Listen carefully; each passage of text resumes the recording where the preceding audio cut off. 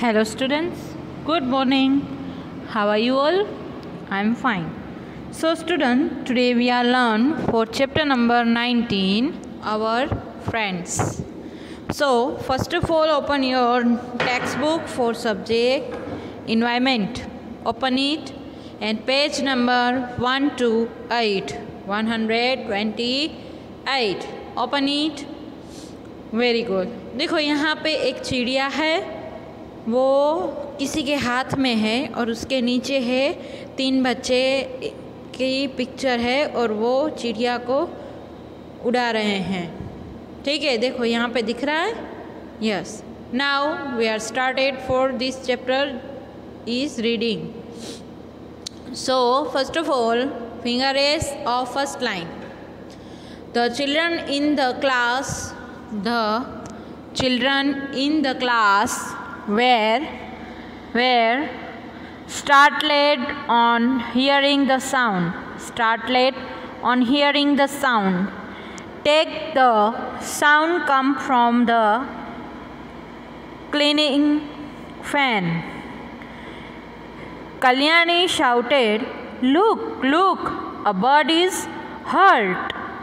A bird is hurt. Peter got up at once and picked up the bird. It was his pain. Navjot and Harbhajan quickly brought water in a bowl. Peter lovingly petted the bird. They held the bowl to the bird's beak. It drank a little water and slowly started flapping its wings. Navjot told all the children to move back. They noticed that the bird was trying to fly. In a while, the bird flew away. Now, next page, page number 129. Next day, the children show a bird circling above then the, in their classroom. The children tried to find out whether it was the same bird, same bird that was heard the previous day. They quickly switched off the fan and started to clap. Recollect and write. यहाँ पे बहुत सारे sentence दिए गए हैं five sentence दिए गए हैं, वो अरेंज करने हैं नंबर के wise put the sentence in the correct order okay correct order में लिखना है फ़र्स्ट सेंटेंस है the bird flew away second sentence है the bird hurt itself with the fan third है Peter lovingly patted the bird उसके बाद है the children saw a bird circling in their classroom उसके बाद है Navjot and Harbhajan quickly brought water in a bowl so answer है first number पे आएगा. फाइव नंबर तो हमको ऑलरेडी दिया है. फ़र्स्ट नंबर को फाइव नंबर दिया है. सेकंड वाले सेंटेंस को वन नंबर देंगे. The bird hurt itself with the fan third number वाला है, उसको थर्ड नंबर देंगे। Peter lovingly patted the bird fourth वाला है, उसको फोर्थ नंबर देंगे। The children saw a bird circling in their classroom and number two देंगे last वाले, यानी फिफ्थ वाले सेंटेंस को। Navjot and Harbhajan quickly brought water in a bowl okay now उसके नीचे है शंकर स्केट शंकर की बिल्ली Shankar was very happy Shankar was very happy a cat had given birth to four kittens in the courtyard of his house. He started spending his free time with them. One morning, Shankar was wake up by the cat's cry. He ran towards the courtyard. He showed that the cat was crying and cub dialing its three kittens. One of the kittens was missing. He went outside and found Malini petting a kitten. Shankar called Malini into his courtyard. Malini showed the cat crying for her kitten. उसके बाद है, next page पे। Now open your next page one three zero पे। Very good Minu's cow Minu की गाय। देखो काव का एक पिक्चर दिया गया है, दिया गया है, उसके पैर में चोट लगी है। देखो, दिख रहा है? खून निकल रहा है वो पिक्चर में दिख रहा है रेड कलर का। दिख रहा है ना? Yes Meenu has a cow Minu's cow. Minu has a cow. Her name is Ganga Minu के पास एक गाय है, उसका नाम है Ganga Minu takes Ganga to the field to grass daily one day a speeding scooter hit Ganga and hurt her leg the wound was bleeding heavily with think and tell what would people in Minu's family do Minu की family में कौन कौन है, वो हमको लिखना है, ठीक है?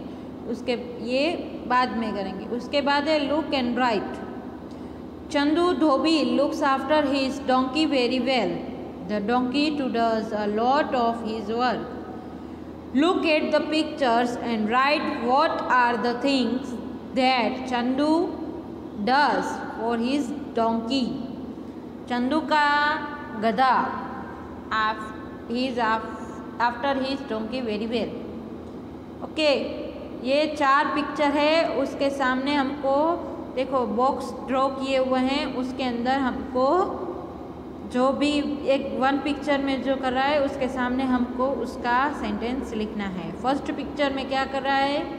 चंदू, उसके गधे यानी डोंकी को नेला रहा है।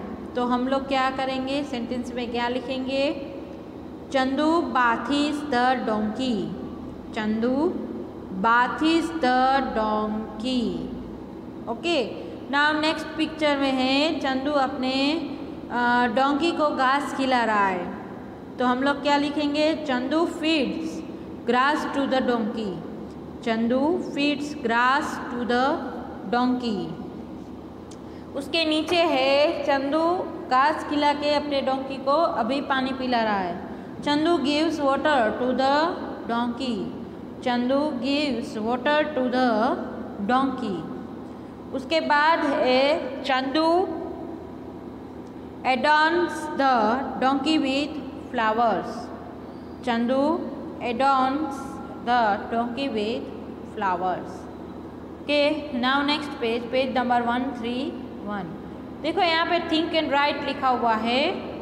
Do you or any of your neighbours have a pet which one आपको आपकी नेबर यानी आपकी पड़ोसी में जो पेट है, उसके बारे में आपको यहाँ पे लिखना है ओके उसके नेक्स्ट पेज उसके नेक्स्ट क्वेश्चन है what name have you give given to your pet आपके पास कौन सा पेट है, वो आपको यहाँ पे लिखना है।